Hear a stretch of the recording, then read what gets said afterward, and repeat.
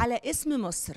معا نقرأ نفكر نبدع خليني أقول لحضراتكم إنه إحنا السنة دي بنشهد معرض القاهرة الدولي للكتاب في دورته ال 54 في إنجازات وحضور غير مسبق. خلينا نقول إن في فعاليات جديدة في دول جديدة في أقسام جديدة نجاحات جديدة أجنحة جديدة. كل ده كان لازم في إطار المجهود الكبير اللي اتعمل وفي إطار البصمات الواضحة اللي اتعملت. كان لازم يكون معانا الدكتور أحمد بهي الدين العساسي وهو طبعا رئيس الهيئة العامة للكتاب ومدير معرض القاهرة الدولي للكتاب عشان نعرف منه كل ما هو جديد في هذه الدورة. مساء الخير يا فندم. مساء الخير. أهلا بحضرتك. أهلاً واولا ألف ألف مبروك على كل النجاحات اللي محققها المعرض واللي لسه متوقعين إن شاء الله إنها تستمر. أهلا وسهلا بيكم جميعا. كل سنة وحضراتكم طيبين. كل سنة ومصر بخير. الحقيقة أنا عايز أقول حاجة إن النجاح ده اللي حققته مصر. آه. اللي حققته الدولة المصرية.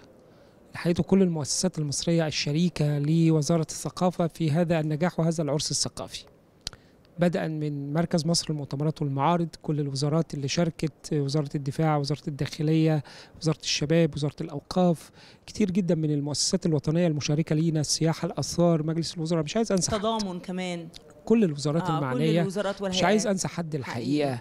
لكن ده هو هي دي روح مصر. طبعا. روح مصر اللي متمثلة في قيمها الحقيقية قيم الحقيقية اللي اللي بقت في العمل. العمل اللي أدى لوجود هذه الدورة لمعرض القاهره الدولي للكتاب رعاية كريمة من فخامة السيد رئيس الجمهورية لهذه الدورة. رعاية كريمة بدأت منذ إطلاق رؤية مصر 2030 بناء الشخصية المصرية بناء الوعي تعزيز الهوية المصرية. الحقيقة إحنا لازم إن إحنا آه، مش نع- نعتز بس لا إحنا كمان لابد إن إحنا نكون فخورين وعارفين قيمتنا الثقافية طبعاً. وموقعنا وقدمنا الثقافي واقف فين واقف بصلابة. ده اللي بيعكسه معرض القاهره الدولي للكتاب صحيح إحنا بنتكلم عن كرنفال ثقافي حقيقي عن نافذة ثقافية للعالم تطل على العالم نافذة ثقافية منصة احترافية يجتمع فيها العالم في مصر. عشان كده السنة دي كان لازم يكون شعار المعرض على اسم مصر. صحيح. معا وإحنا بنخاطب العالم كله معا. تعالوا معنا نقرأ ونفكر ونبدع في مصر.